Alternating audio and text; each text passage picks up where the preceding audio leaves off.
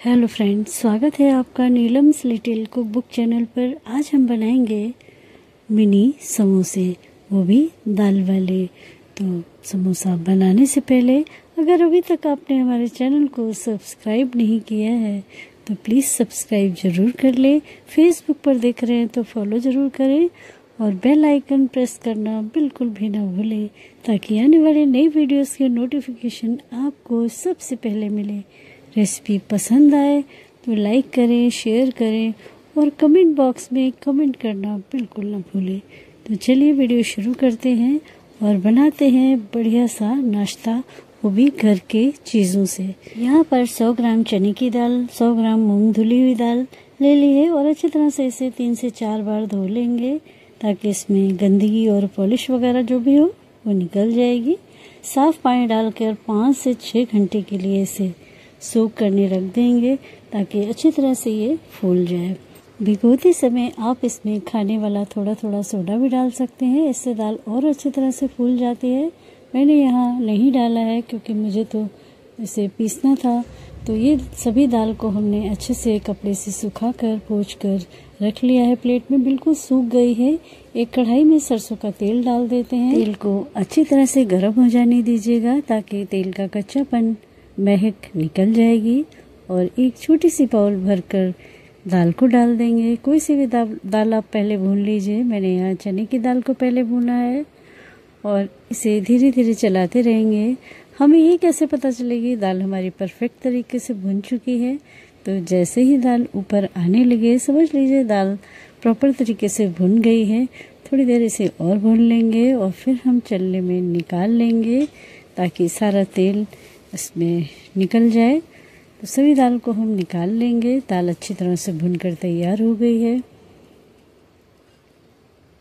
सभी दाल को हमने निकाल लिया है और इसे पेपर टबल के ऊपर डाल देंगे दाल को। अब दूसरी वाली दाल भी डाल देंगे। इसी तरह से सभी दालों को हम भून लेंगे। तो यहाँ पर मूंग की दाल को मैंने डाला है। मूंग की दाल थोड़ी महीन होती है तो जाली में से बहुत ज़्यादा निकलती नहीं है। इसके लिए या तो हम स्टेनर में ही दाल डालकर भून सकते हैं, या फिर हम एक चाय वाली स्टील की चलनी में से निकाल लेंगे इस तरह से तो आराम से दाने निकल आते हैं। तो इसी तरह से सभी दालों को हम भून लेंगे और पेपर टॉवल के ऊपर सभी दाल को फैला लेंगे ताकि जितना भी तेल एक्स्ट्रा हो, वो सभी सोख हो जाए।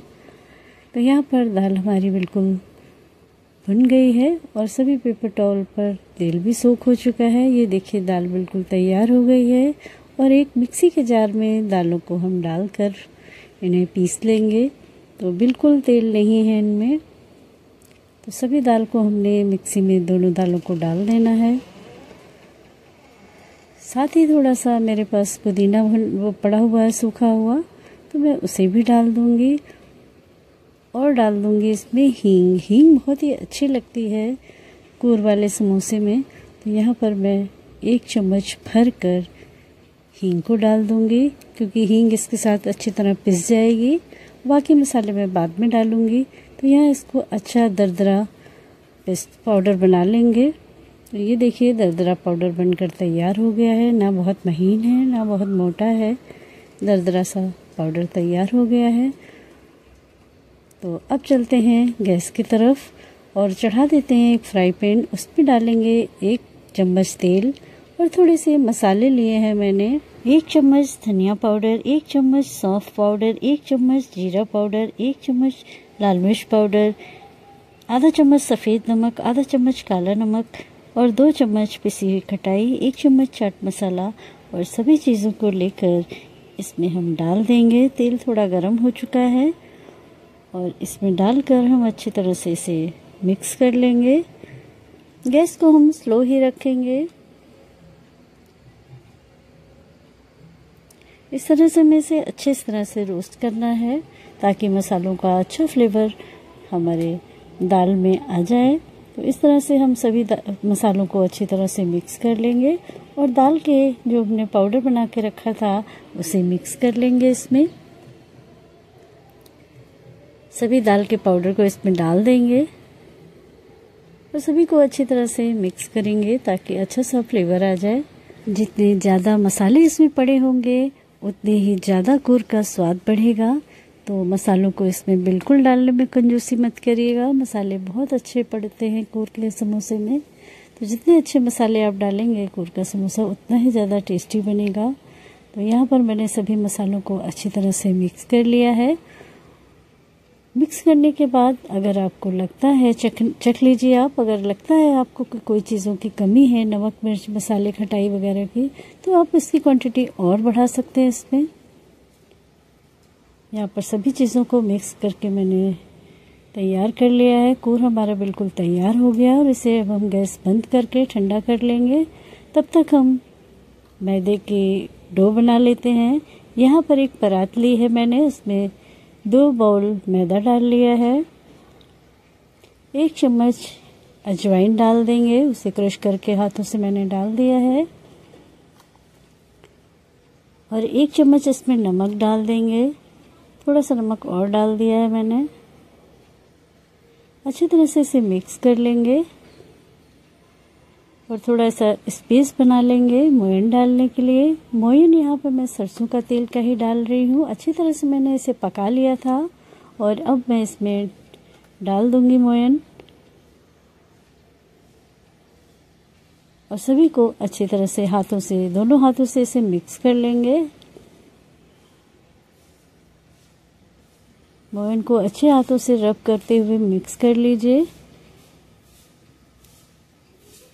अब ये देखिए मोहन बहुत अच्छी तरह से मिक्स हो चुका है। अब ये देखिए, मैंने इसका लड्डू बांधा है, बिल्कुल भी गिर नहीं रहा है। यानी मोहन हमारा बिल्कुल परफेक्ट है। थोड़ा थोड़ा पानी डालकर हम इसे गूद लेंगे।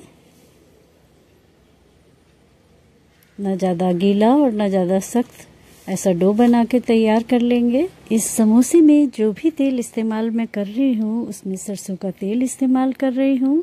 अगर आप नहीं करना चाहते तो आप देसी घी में भी बना सकते हैं और या फिर आप किसी भी खाने वाले तेल से बना सकते हैं, लेकिन मैंने यहाँ सरसों के तेल में ही बनाया है, क्योंकि अक्सर मैं मटरियाँ या समोसे सरसों के तेल में बनाती हूँ और कोई भी महक नहीं आती, बहुत ही ज़्यादा टेस्टी लगता है और हमारी हेल्थ के लिए भी अच्छा होता है। कूर भी बनकर बिल्कुल तैयार हो चुका है और ठंडा भी हो चुका है और आटा भी गूंद कर बिल्कुल तैयार हो गया है। बस पाँच मिनट बाद हम इसे बनाना शुरू करते हैं। पाँच मिनट के लिए आटे को थोड़ी रेस्ट पर रख देते हैं। आटे को एक गीले कपड़े से मैंने ढक दिया है और थोड़ी देर बाद बनाना शुरू करेंगे। तो ये देखिए, पाँच मिनट हो चुके हैं और मैंने आटे से बिल्कुल कपड़ा हटा दिया है। ये देखिए, बढ़िया सा आटा हमारा गूंद तैयार हो गया है और इसकी हम छोटी छोटी लोइयाँ काट लेंगे।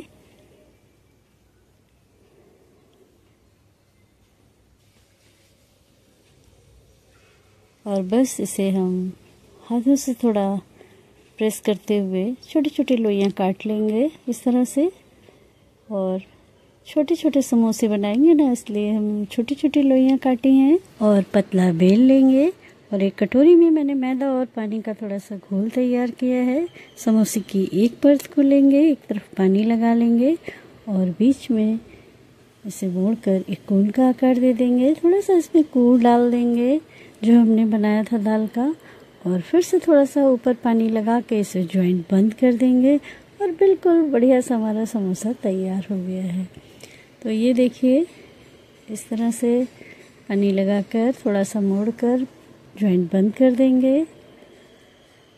अगर आप इससे थोड़ा सा बड़ा और बनाना चाहते हैं तो वो भी बना सकते हैं। आप देखिए, मैं आपको ज़रा सा बड़ा और बना कर दिखाऊँगी। तो यहाँ पर देखिए, थोड़ा बड़ा बनाया है मैंने। इसे भी इसी तरह से पानी लगा के मोड़ लेंगे। थोड़ा सा कूड़ डाल दिया है और फिर थोड़ा पानी लगाकर मोड़ कर इसे बंद कर देंगे। ये देखिए, बढ़िया सा समोसा हमारा तैयार हो गया है। जिस भी साइज़ के आप बनाना चाहें, उस साइज़ के आप बना सकते हैं। मैंने छोटे छोटे ही बनाए हैं, ज़्यादा बड़े नहीं बनाए हैं। इस तरह से समोसे बनाना बहुत इजी काम है। चाहे बड़े समोसे बनाए, चाहे छोटे समोसे बनाए और सभी समोसे हमारे बनकर तैयार हो चुके हैं। तो चलते हैं अब गैस की तरफ़। तो एक कढ़ाई चढ़ा दी है मीडियम गैस पर और इसमें डाल दिया है सरसों का तेल। अच्छी तरह सरसों का तेल खोल चुका है और इसे हम थोड़ा सा धीमा कर देंगे। उसके बाद हम समोसों को डाल देंगे और धीरे धीरे समोसे को पकने देंगे। समोसा डालते समय गैस की फ्लेम जितनी कम होगी तेल का तापमान जितना कम होगा, समोसा उतना ही ज़्यादा अच्छा करारा सिकेगा। इस तरह से हम गैस की फ्लेम को बहुत स्लो रखेंगे और समोसा डालने के बाद थोड़ी देर छोड़ देंगे और धीरे धीरे इन्हें हम सिकने देंगे बहुत स्लो गैस पर। तो जितने भी हमने समोसे बनाकर तैयार किए थे, वो सभी समोसे इसी तरह से हम धीरे धीरे सेक कर रख लेंगे और हमारे सभी समोसे सिक कर तैयार हो गए हैं। सर्व करने के लिए तो ये देखिए, बहुत ही बढ़िया क्रिस्पी करारे समोसे हमारे तैयार हो गए हैं। इन समोसों को आप कहीं सफ़र में जाना चाहते हैं और कुछ ले जाना चाहते हैं तो आप आराम से इसे स्टोर करके ले जा सकते हैं, घर पर भी स्टोर करके रख सकते हैं।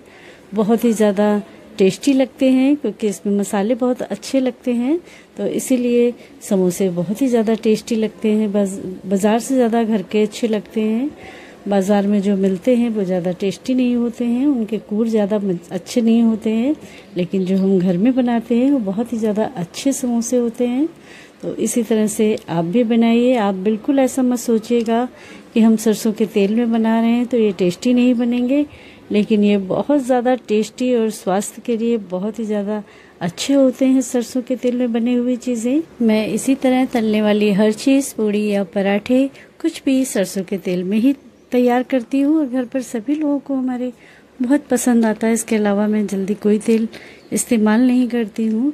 तो आप भी इसी तरह से हमारी रेसिपी को ट्राई कीजिए और घर पर बनाइए। सभी को खिलाइए। बहुत ही अच्छे और स्वादिष्ट लगेंगे। और हमारी रेसिपी अगर आपको पसंद आए तो प्लीज़ हमारे चैनल को सब्सक्राइब ज़रूर करें और एक कमेंट बॉक्स में कमेंट ज़रूर करें कि आपको हमारी रेसिपी कैसी लगी। तो मिलते हैं एक और नई रेसिपी के साथ। तब तक के लिए ओके बाय